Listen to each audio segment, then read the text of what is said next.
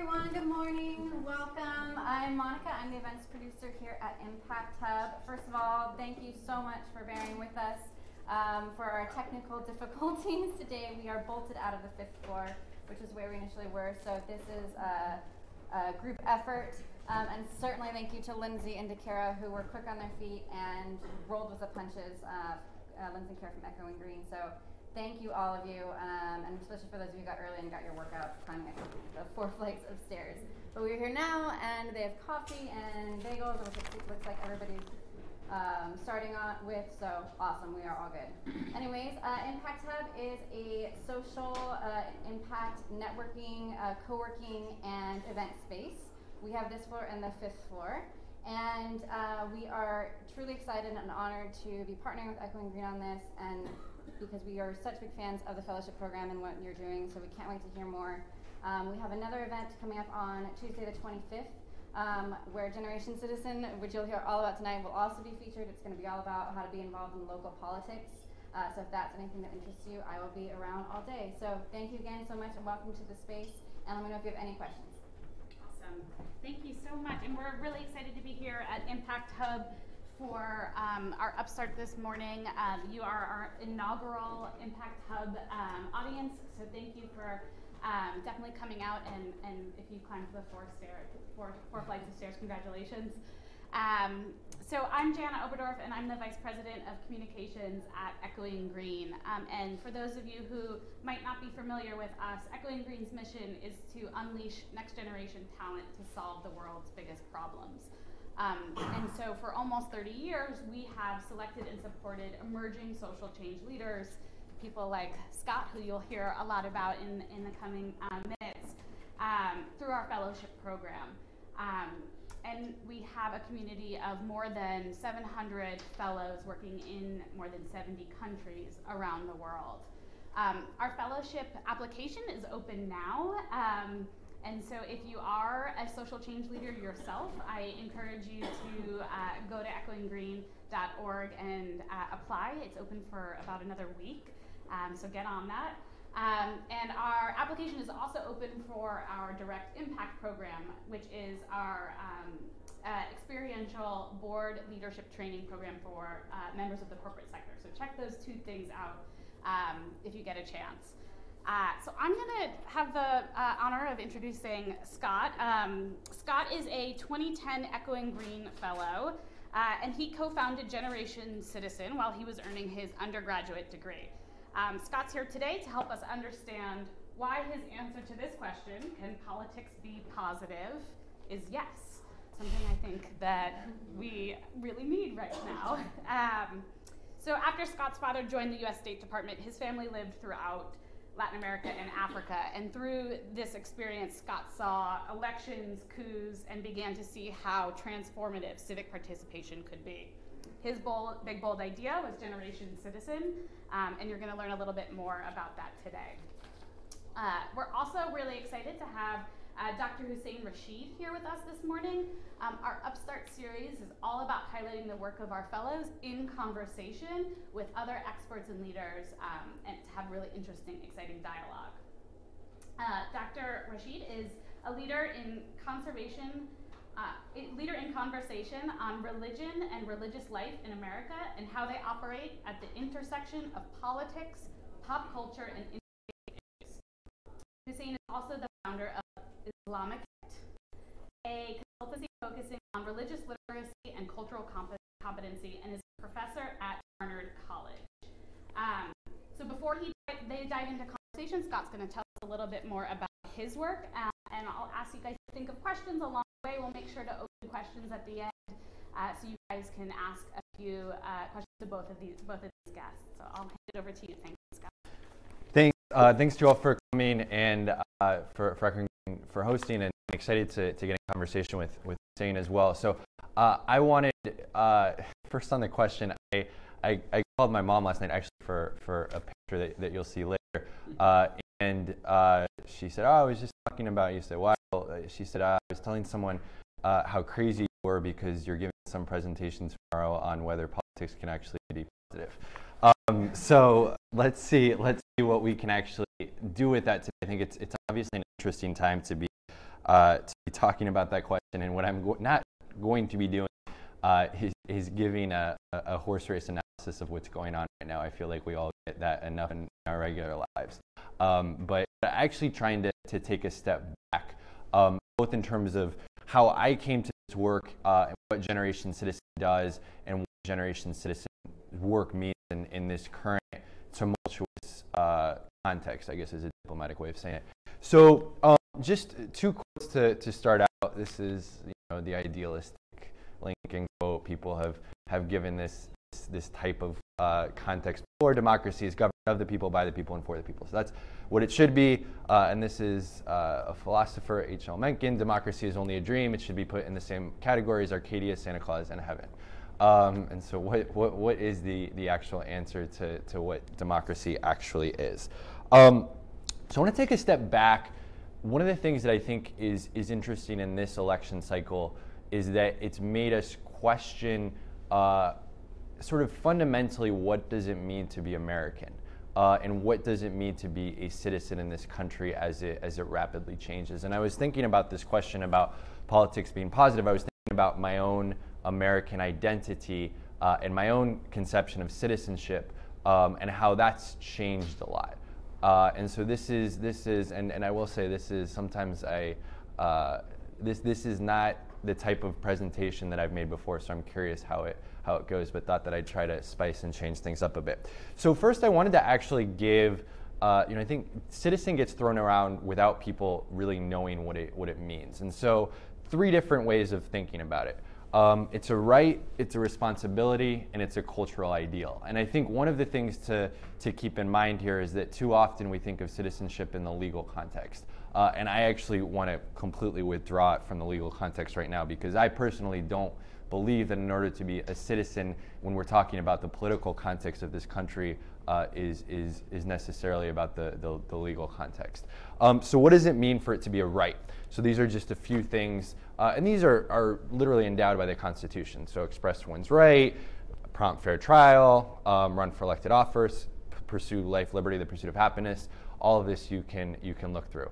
Um, the second one, which I actually think is interesting because we don't think about nearly as much as I, as I think we used to be, um, is oh the responsibility one, which uh, I, I, didn't get here. But what is it? What does it mean um, to to actually be a citizen in terms of responsibilities? Uh, and, and that looks like things like paying taxes, um, serving in the military if, if it calls upon one to do that. Um, but I think that that notion of citizenship being a responsibility is something that I think we've, we've lost sight of.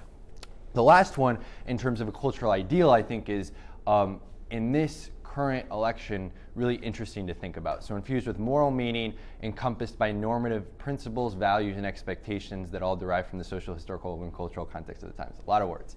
Uh, what does that What does that actually mean? Um, so I'm going to talk a little bit. Uh, you know, Janet was talking about how I, how I grew up overseas. So I'm going to talk a little bit about how that informed what it meant for me to, to actually be a citizen. Um, so I grew up in, in San Diego, California until I was eight years old, um, and then uh, moved all around Latin America and East Africa. And so the, the, the place to focus on um, here's a responsibility. Is making this this is interesting to look at. Um, but but looking at stuff like participating in your local community paying income uh, serving on a jury all this is is as part of responsibility so my american identity and, and so part of this is the picture that my mom drew up which i think she did a decent job of finding last night considering she like took a picture of one of those old camera things uh, but this is me and two of my best friends in, in kenya on a family trip uh, on a school trip and the reason that, that i pointed to kenya uh, is so we were living in Kenya from 2000 to 2003. Uh, and what happened in 2001 is the, the, the 9-11 attacks. And being in Kenya during uh, the 9-11 attacks was incredibly formative for a number of reasons. So one, prior to 9-11, uh, the, the, the largest attacks that Al Qaeda had conducted on the United States were actually at the US embassies in Kenya and Tanzania. This is before we were there, but being in Kenya was something that, that people talked about and thought about a lot. The other part is that it led to a great deal of anti American sentiment. Um, and when we started the incursions in Afghanistan, when we started the incursions in Iraq, uh, every day at school was very international school that I went to. Every day um, when I was walking around, there was there was a great deal of resentment towards the United States. Um, this was during the, the, the Bush era, and I'm not trying to be political here, but growing up in that context, it was impossible for me not to reflect on what it meant to be an American uh, in the sense that I didn't really feel American. I hadn't lived in the country for a long time. Uh, I was engaging with peers all the time that were talking about how terrible the country was, how we were pretending that we were better than anyone else, how we were destroying the Middle East. This was how I grew up. I'd get fun of, made fun of for, for watching American football because I was the only one of my friends that, that still watched American football. Um, and so in this context, I didn't, I didn't fully see myself as American like my, my friends in the United States might have. Um, and so, you know, there's actually, growing up all around the world, there's this term that, that people use to talk about kids in that context. They call them third culture kids. And that's sort of what I felt like. I didn't feel fully American. Obviously, I'm not fully Kenyan, although, you know, maybe I pretended to be uh, at points. Um, but, um, but, but, but I struggled in that context. The bottom picture is a story I actually talk a lot about in the founding of Generation Citizen, um, which is that I got to observe the first truly democratic elections in Kenya's history. So I was getting this education on the importance of participating in democracy and how powerful the context could be, but struggling with, with what it meant to be an American. So fast forward to 2005, um, which is when I started college at, at, Brown in the United States. This is the first time that I'd lived in the United States uh, since I was eight years old. And so, sort of a, a, a, culture shock in terms of coming back to a country that I was from, and all my friends, because I look fully American, thinking that I was fully American, but not, not fully feeling that.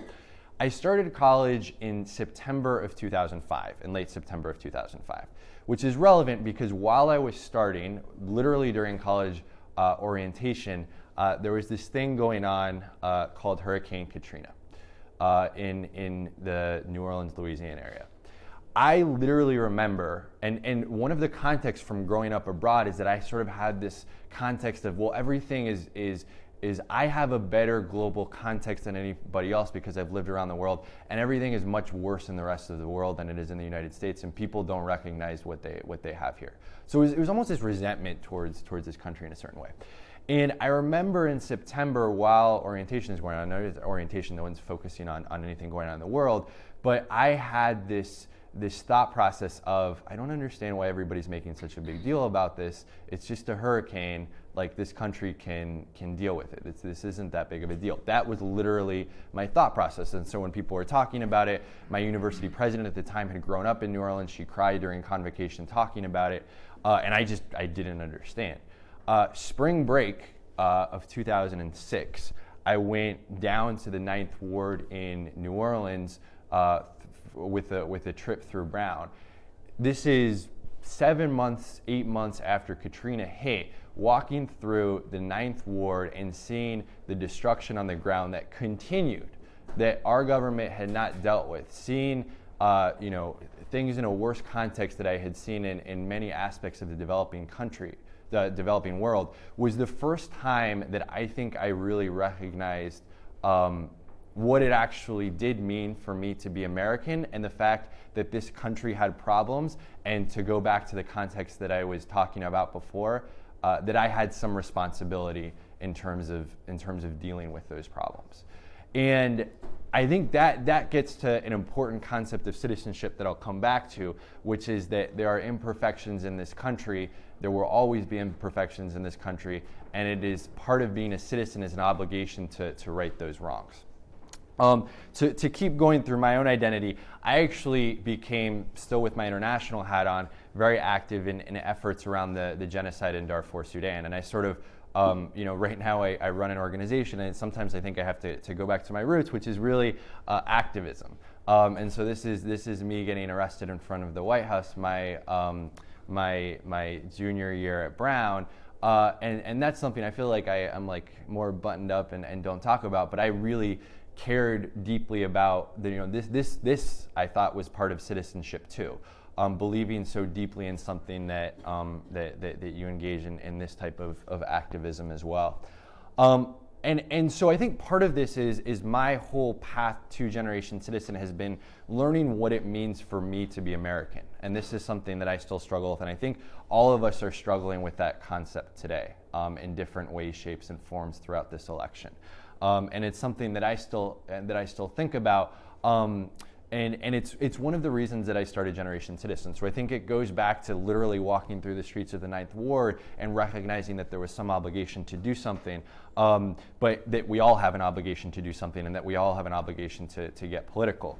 Um, and so this is, this is, you know, I started Generation Citizen my senior year at Brown. Um, this is, our, our mission essentially is to ensure that, that all young people uh, have the same type of education that, that I did in terms of learning about politics through taking specific political action.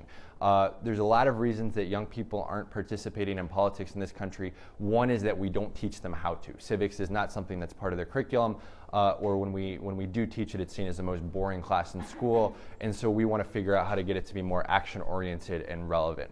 Um, and so that's that's you know what we do. That's what I applied for for Echoing Green to do, and that's what we continue to do to this um, to this date what we how the program actually works is that we've created this action oriented curriculum where students as a class choose very specific local issues that they care about. Um, it's an in school class, so everyone takes it. It's not an after school curriculum, it's not an extra uh, curricular activity, and it's focused on local political change. Um, so I think that's important in terms of thinking about the context of this presidential campaign. Uh, it's specifically focused on local politics. And then the other part of it is that we partner college volunteers with middle and high school teachers to, to actually teach it. Um, and this is, this is the specific framework that we think about uh, the, the reason it's an hourglass, we laugh about this with our students because I think older generations understand what an hourglass is, if even from Yahtzee games. Uh, and sometimes we have to explain it to, to, younger generations. But they start out with very broad issues. So it might be gang violence or policing. Uh, and then they narrow it down to a specific root cause. And then they broaden it to think about the type of, of, of tactics that they, that they actually take. Um, and so it might be you know, an issue that comes up in, in New York all the time is, is obviously policing. You can't change policing in New York in a semester, but they'll look at what's specifically going on in a legislative body right now. It could be looking at body cameras, it could be looking at uh, you know, uh, liaison officers between communities and schools, but trying to figure out how to, how to actually conduct real change. So, so this is, and I, and I want to get into to conversation, but I think some of the, the challenges, so, so Generation Citizen right now is we're based in New York. We started in Rhode Island. We still have offices in those two cities. We're also we also have programs in, in Boston and in San Francisco. And one of the things that we've gotten really passionate about, especially in the last year, especially as a result of this election, uh, is is you know look at the organization itself. We're just working on the coastal liberal urban centers. Uh, and I think that's emblematic of society at all is that we're not talking to each other anymore. Um, and so we're actually expanding this year into, into Oklahoma City and the central Texas region as a way to figure out is it possible for a curriculum like this to actually be effective in different types of contexts. So I think that's one thing that, that, that I'm really interested in and, and, we, can, we can talk about a little bit more. But the, the broader question of whether we can agree or disagree anymore uh, is something that I think is core to whether it is, it is positive to be politi- about politics anymore. The second question, and Hussein and I talked about this a little the other day, and, and I think we should, we should continue to talk about it. We're predominantly going into classrooms with, with low income uh, people of, of color, and we're telling them that in order to make a difference, you have to participate in the system. And one of the biggest problems in this country is that people aren't showing up. Now, the problem is are we essentially telling them the way to fix the system is to show up, or is the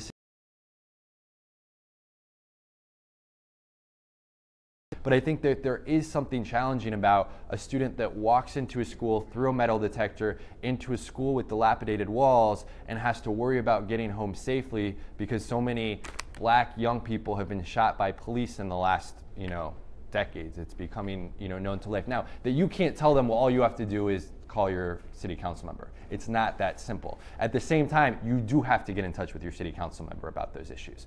And so I think that's one of the things when we talk about politics right now in terms of is this system broken uh, or are we not participating in it, um, I think is, is really important.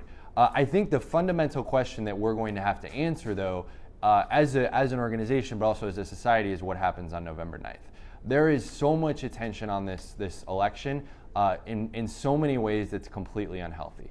Um, and this is on, on both sides of, of, of, the aisle. It's completely lost the ability to be substantive on this stuff. Um, the election's going to happen, and uh, you know it'll it'll it'll work despite people saying it won't work. The the question is what happens on the on the day after. So I wanted to close, sort of going back to the concept of citizenship before we get into conversation about why I think this election has been so abysmal, but why I think it's positive to it's possible to be positive about politics, which is I think what's incumbent on all of us to think about. And so this summer we had uh, our first student leadership board conference. And so we have these, these young people, we work with about 8,000 young people in four sites. We're trying to get more student centric as an organization. So we got representatives um, from all of those, those sites to, to come together in New York City to talk about how they can lead the organization. And they were going over their own individual stories. This is in, this is in July.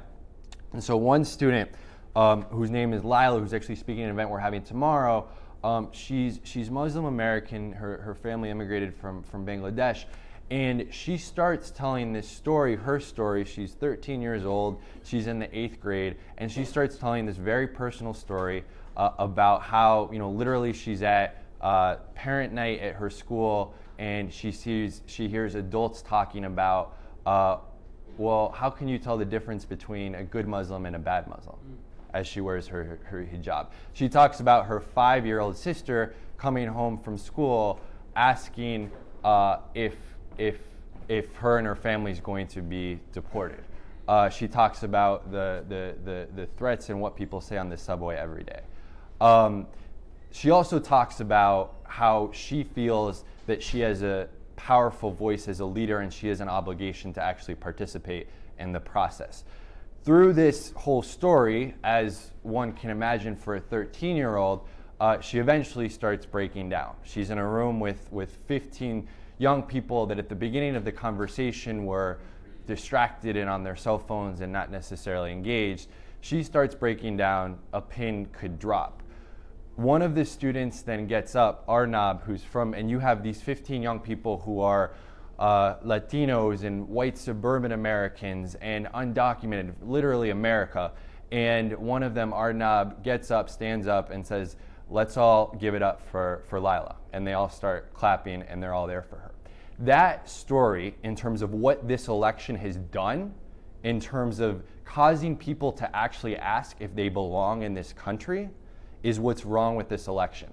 That response of young people to her story in terms of making her feel welcome is why politics can be positive. Because fundamentally, we as a country are about allowing whatever your concept of American citizenship and identity is. And that's why I gave that story at the beginning. I don't I didn't feel American when I started at college here. And to an extent that's okay because that's what this country is about it's actually embracing those differences. But there is this challenge right now in terms of figuring out what that actually means. At Generation Citizen, we're trying to do that in a very small way by trying to get young people to realize what their own American identities are and how they can actually take political action. But I do think, and, and, and want to get in conversation now, but I do think it's so important for us to not get bogged down in the negativity of this election because it's not what America is. It's election. It's an election. It's a point in time, and the only way it's going to get better is if we all stand up like Arnab did and make sure that everybody, whether they're a Muslim American, whether they're a white co-worker in West Virginia, feels part of this country.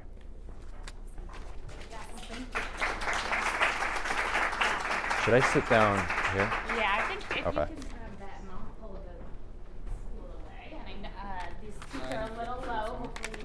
Oh, thanks. Uh, and we'll move into conversation. Should I? Um, uh, and hear a little oh. bit uh, uh, about more about Generation Citizen and about sort of what we're facing today. Um, and again, I encourage you to think of questions that you might have, and we'll make sure to open it to uh, the audience uh, for a few questions at the end.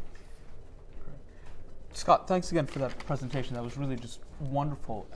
Scott, trying to go through some of what you presented. I grew up in New York. I went to high school here.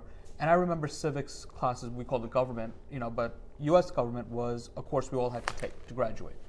It seems to have fallen off, right? Why is that? Why is Generation Citizen important now? Why, why is it happening now? Why did we get rid of those courses?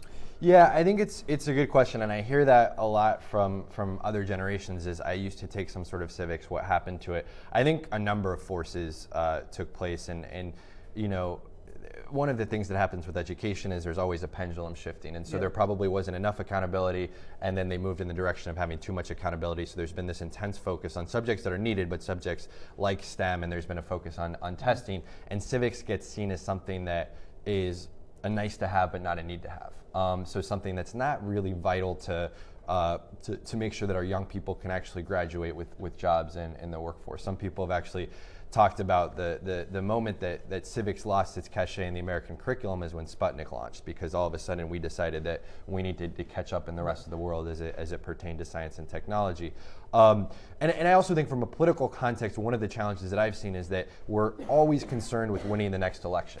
We're not concerned with actually building up our citizenry. So people are always thinking about voter registration, always thinking about young people. How do we get more people to register to vote? But not about how do we get people socialized to believe in the importance of politics in the first place. And so I think Generation Citizen, and then the other last point I'll make is that civics is like even the word is seen as boring and rote and, and like the most boring class in school. So we're trying to get it to be seen as, as action oriented and and, and relevant. I will say that the silver lining of this election, I keep talking about the positive parts of, of, this election, is I think it's impossible to look at our democracy and think that everything's okay with it, which is making us actually look in the mirror and figure out what can we do, which has been good for Generation Citizen because there's like three articles a week written on the importance of civics education. It's sort of like what we should have done in a few years ago, but we'll take the attention now. Right. Okay. I guess I want to push you a little bit harder on that. Mm-hmm. In that, you know, I'm not old enough to be part of the Sputnik generation, just so we're clear. um, but, uh, you know, that sometimes there are intentional policy choices. So if we look at the way our elections have evolved, and somebody who works in education, right? You look at John Dewey, he argues that a good education is important for a healthy democracy. Right. And in many ways, we seem to be gutting education, not just at higher ed, but at the secondary and primary level, in ways that allow, that are intentional to allow bad politics to emerge. In other words, when we see gerrymandering of districts, when we see um, school choice options being put forward, right? This all seems to come out of very intentional policy choices to achieve political ends at an earlier and earlier age. I mean, what do you think about that? Yeah, I mean, I think so. Obviously, I grew up in an international context. I think when you look at civics education internationally, sort of two different ways of looking at it. One is to educate people essentially to respect and revere their government. Uh, the second is to educate people to actually change and improve the systems that are at play. And that's what I would argue that we're doing. I don't think that that's a partisan uh, angle at all. I think that part of being an effective citizen is complaining and actively trying to, to make things better. I think it's it's valid to make the argument that there are forces that want to perpetuate the status quo. I mean, I think essentially that's that's that's that's what's that's what's being said. I don't know if I'd say that it's that that that people from an educational standpoint are being that cynical about like let's not educate young people to be active citizens because we want to um, we want to perpetuate the status quo. One can make that argument. I don't know if it would be that cynical. I think that we don't prioritize education to the extent that we should, partially because it's a it's a long-term play. And I think our, our politics are geared towards short term solutions because politicians want to show I accomplished X. Right. It's really difficult to change an education system in a specific period of time. And one of the things that you'll see is whenever a mayor, a new mayor gets into office, they always promise to be the education mayor. De Blasio did this in New York. He starts with UPK. What have we heard? And I'm not trying to be political, but what have we heard about education since UPK launched? And so I think one of the things that happens is that you continue to you continue to, to, to sort of get this like how can we improve education like this? And civics education is not that. Right. Um, so just for our audience at home, UPK is Universal. Pre-Kindergarten. Yeah. Uh, so uh, the other point that came up that really struck me in your talk was this idea of third culture. You talked about being part of a third culture um cohort, trying to figure out where you fit in. But that strikes me as coming from a place where you can choose to be part of third culture, you can navigate that.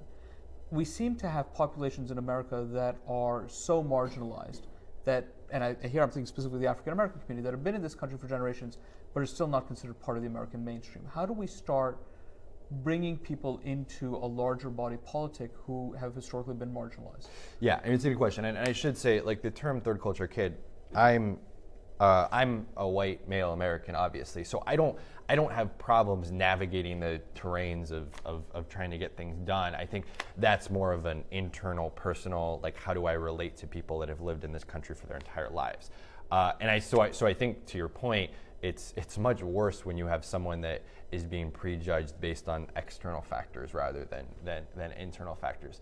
Um, I mean, I, I think you know there's that, that goes to the question that I talked about at the end that we struggle with a lot internally, which is how do you tell people to participate in a system that fundamentally tells them that they don't matter? Right. Um, and I don't, I mean, I, am not going to have the answer to that. I think what we're trying to do as a program is show that their voices do matter. And so I think one of the things that happens in Generation Citizen is at the beginning of the semester, we actually ask them, what would you change if you were in charge of your city, your school, your state? No one's ever asked them in a lot of the classes that we work in, what do you care about? Which is, which is sort of this interesting thing. We'll go to, to schools in more affluent areas and they're constantly being asked, what can be better? What can we do better? How can we better serve you?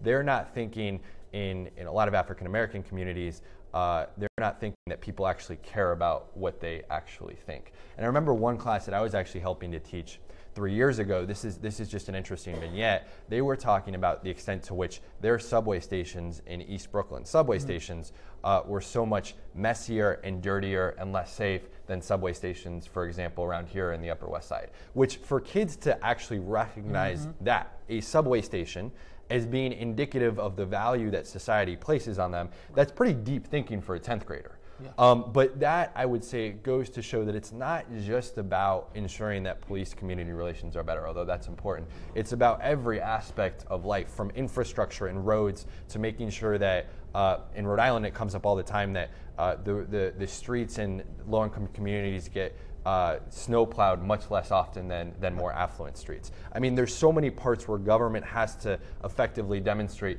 you matter just as much as, as the, the, the people that live in more expensive houses. So President Obama gave a speech today to some Silicon Valley, uh, not today, sorry, this week, uh, to Silicon Valley business leaders, where he says, you know, we can't take the corporate mentality to the business of government. Yeah, I love that. Because government takes on the problems nobody else wants to take on. That's what it's designed for, right? And the systems, uh, you know, democracy is messy. The systems uh, may not be broken, but the idea is that there are the political process is important, but there are also civil society institutions that apply pressure. And I'm going to do a little shameless plugging right now. Uh, you know, there are two things that I've been working on. One is with the Children's Museum of Manhattan on an exhibit called America to Zanzibar Muslim Cultures Near and Far, which attempts to, at a very young age, talk about Muslims and marginal communities in America in ways that aren't about marginalization, but about the tapestry of America. And on the more adult side, I've been working with a group called Americans United for Black Lives, which is a Crowdpac which seeks to work on local elections for people who are interested in changing laws around Black Lives Matter. So it seems like there are these institutions that can push our government, which you mentioned before. How does that fit into the work of Generation Change and bringing people together? Yeah, I mean, I think, and, and I think that the, the speech was just worth checking out that I think Obama was that, that, that talked about this this week, and I think that is it is pushback. And, and, being in the nonprofit sector, I appreciate it too because you have I think people in the corporate sector that are always saying, well, you just got to do it our way. Um, and I think he gave a similar speech in, in Austin last year in terms of talking about, well, if you just had one widget to, to focus on, then that would be right. easy. Um, but if you have to figure out how uh, you know, impoverished people are actually going to buy that widget and how it's going to be used in different contexts and how it's actually going to be sustained, then that's a, that's a totally different conversation. I think for, for us, you know, the, the role of civil society organizations is incredibly important in terms of pushing government to do better and in terms of of creating that citizenship where we're constantly asking government to do more. I think what I would say is that the problem that we have is there's still not enough people showing up to the table because people are so fed up with politics that they don't believe that they should actually participate anymore. And I would argue that too many people are going around the system. So there's been a big influx mm. in terms of this social entrepreneurship stuff, which I'm a part of, which Echoing Green obviously pushes. But I don't really believe that you can get systemic change unless you're unless you're using your approach, unless you're actually going after the governmental structures that are that are at hand. So I would argue what we're trying to do in Generation Citizen is convince people that in order to actually affect change, you need to participate in the political process. Um, and I think that sometimes can be a really difficult message to assert, especially in a time like now. We're going to have bad political, we're going to have bad participation on, on November 9th because people are, are so, or November 8th, sorry. November 8th, yeah um, on November 8th because people are so frustrated with the, the system and they don't think that, that, that, that, their voice actually matters. The problem is, is if you don't participate, the system is going to get worse because the people that do participate are the people that are going to continue to get power. And there's nothing that predicts whether someone votes or not more than their income level. If you make a lot of money, mm. you vote. If you don't, you don't. And that just perpetuates the cycle at, at hand. So I'd argue, one in, in order to, to, to get more people to do the work that you're doing through Generation Citizen, we're trying to convince young people of the importance of political participation before they turn 18. Um, before they actually, I, I sometimes use a uh, analogy of you can get your driver's license in this country when you turn 16, but you don't wake up at 16 with your driver's license in the mail. Right. Um, you have to get your permit, you have to take practice lessons, you have to take a test. Um, and we treat democracy like you can wake up at 18 and all of a sudden know how to participate. And so, what we're doing at Generation Citizen is almost a driver's education course for democracy. Got it. Um, I want to get to the audience, but I want to combine or offer you two questions. You can take it or leave it, and we can turn to the audience. So the two I want to throw out at you is you started talking about rights and responsibilities, and it seems using your analogy of the pendulum that we've gotten a lot into our rights as citizens, but away from our responsibilities as citizens. So how do we start inculcating that? And related to that, from my perspective, is I'm tweeting this, other people are tweeting this. The chances of me, thre- somebody threatening me for saying I'm a Muslim who wants to be an American citizen, even though I am, that ending up in some threat on my life will probably be the end of my day today. Yeah. Right? How do we? How do I make connections and build community with those types of people? Uh, so let me leave that with, with that. Um, you take that home with you. I'll forward you the tweets uh, and integrate it as you will. So on it for a bit, and maybe we can turn to the audience. Please.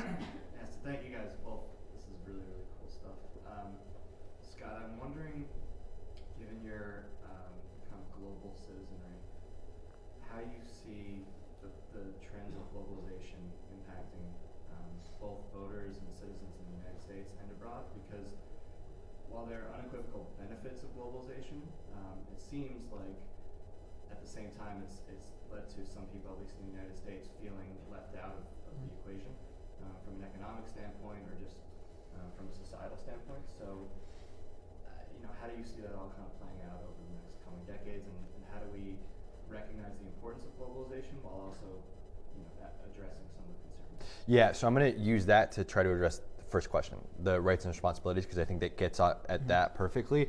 That I think globalization, I mean, that's that's the question that we have to figure out how to deal with, and how people figure out, people try to understand that institutions actually represent them and their interests. And I think the problem with globalization is that you have uh, you have people that, that either say, well, statistically and objectively, it's good for the economy and, and, it, and it drives um, consumer prices down and, and, and it's, it's the way of the world, which, which might be true.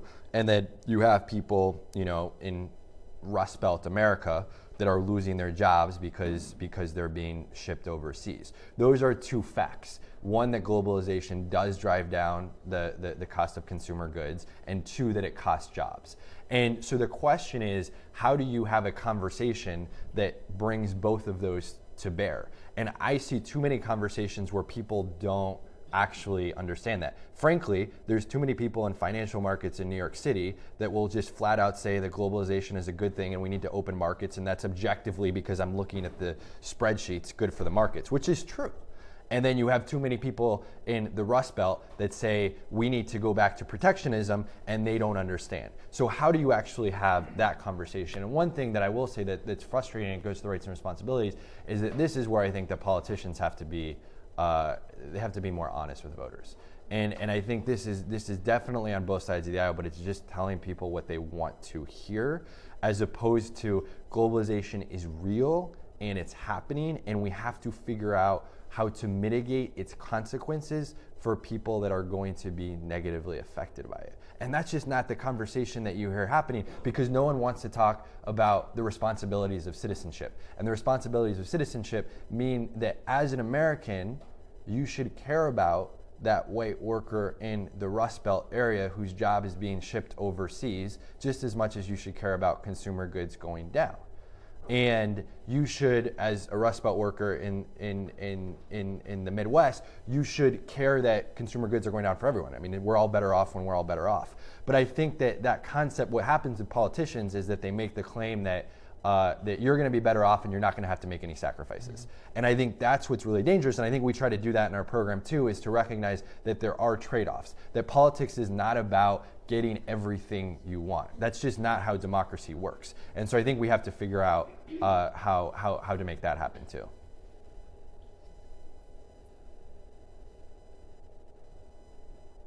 Yes, please. Um, thank you, guys. I have a, a comment that is um, related to a question. One of them is um, just commenting that for us that are um, recently naturalized citizens of the United States, we actually going through the citizenship test. Actually, you have to pledge and you have to sort of know your rights and responsibilities as a United States citizen. And so, for me, I had never made the connection that that was something that was that I had to learn as an adult. I had to learn what were my responsibilities and something that became very internalized. Like you actually have to pledge allegiance in a way that's um, very different. And so thank you for sort of touching on that um, in your presentation, Scott. My question is for those folks who aren't in middle school, aren't young, um, but want to get involved and don't quite know how to actually take that learner's permit course to being a citizen, what can they do? Yeah, I mean, that's, that's, that's a good question that Generation Citizen doesn't tackle yet. Um, what, one of the things that I would say, and, and at the Impact Hub, they're going to do something on local politics next week. I, I tend to think that, that local politics, not I tend to think, I think this is an objective fact, that, that local politics is uh, more important for, for people to engage in than the national election. Uh, and so I think to, to go back to the question, can politics be positive? One of the challenges is that all we talk about is the presidential election. Um, we live in, in New York City. What the city council is doing on a daily basis, what the state legislature is doing on a daily basis, that will impact our daily lives as much or not more than who the next president is. So I think to answer your question, one of the things that we need to do is figure out how do we get more adults involved in, in those types of conversations. If you called up your city council person today, uh, or your state rep, they would meet with you. I've gotten drinks multiple times with my city councilman. Like I couldn't do that with you know with, with with other folks. And so I think that's. But part of it is is getting people to recognize that you do have those local powers at be that will be accountable to you and that will actually listen to you. Um, and so I think that that would be uh, the general gist of it. The other part, and, again, I don't want to. I don't want to get into the, the horse race part of it, but I, but I think what is disempowering is the media in this context because the media has focused on the horse race. But I do think that we have to demand as citizens more substantive dialogue and debate and discussion as well. And I think that's something that as adults we can do. So so one specific example of this actually, because I was just I was thinking about just how like this election has influenced things in, in such a negative way. I was in my office the other day. I love my team, but you know, we started talking about the election and immediately went to the superficial. I mean, immediately, I think like all we're capable of talking about 20, 20 days out from the election right now is sex, and like that's literally where it where it went. And it was just like, wow, like I like why why are we as people doing doing this? Uh, in, ter- in terms of talking about the issues. Like I feel like if I, you know, if we had a debate right now about what's, you know, what's Clinton's tax policy uh, or, or, or, what are the candidates actually pledging to about globalization on a substantive level, I don't know if people here would be able to talk about that. And so one thing that I would say that is important for adults to do too uh, is to actually engage and think about the issues uh, and read local papers too. Um, you know, read to, to figure out what's going on in a substantive angle locally and not just, you know, what candidate X tweeted last night. Yeah, and um, just to just to wrap up, um, Scott, I'd love to hear with the audience that you have here, what can we do to help you and to support your incredible work? What is what is your ask for us? Yeah, I mean, so I think that, that to, to go back to something earlier and, and, and the, the, the question overall, I mean, vote on November 8th, but I think the, the question for everybody uh, is what are you going to do on November 9th? Um, and I think that's the question that everybody needs to be thinking about right now. Um, and from Generation Citizens' perspective, we're going to be trying to do a lot after November 9th, too, to, to really focus on the importance of educating the next generation of citizens uh, to actually be informed so that we avoid elections like this in, in the future. Um, and so that looks like everything from, I mean, coming to a class, we have classes all the time in, in New York going on. Um, we have a great Civics Day event where young people present on the issues that they care about. It's like a science fair for civics, um, so we can get information on that. Um, and so I think so. One ask would be you know find out and get more involved with Generation Citizen. But but I guess the other ask to, to go off some of the, the, the questions. I'll make two more asks. Uh, the the second ask to, to go off what, I was saying is um, to, to to figure out what do you think your responsibility is as a citizen on November 9th. Um, not what do you want to do, but what do you think your responsibility is as a citizen on November 9th? And the third part, and, and I'll sort of get to your, your the question that I didn't answer, which is a good one, um, but this is something that I've been trying to talk more about, and I think it can be challenging for people in different contexts, but is to talk to people that fundamentally disagree with you. Um, on November 9th as well. Maybe not now till November 8th. It might be uh, a little a little tricky then. Um, but but on November 9th, because I think one of the things that we're going to have to do is figure out how to how to rebuild uh, a fabric that, that, that, that has been sort of torn apart. And so figuring out how we have those conversations and figure out where those areas of agreement are uh, and, and figure out how we see in our classes all the time with young people engaging on issues that they disagree with, how to make that happen is going to be really important. Awesome. Thank you guys so much. Yeah, that was fun. Thank Yeah, you guys that was all really for fun. coming. There is coffee